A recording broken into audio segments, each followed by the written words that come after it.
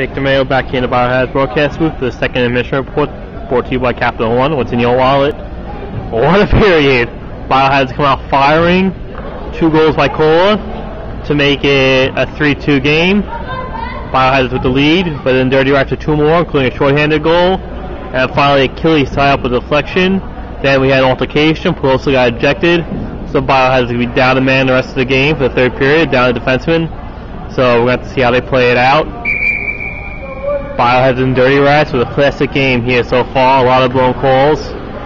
Each team with a power play. Neither team with the goal to show for it, except for the Dirty Rats with a shorthanded one. Right back in the third period, right after this.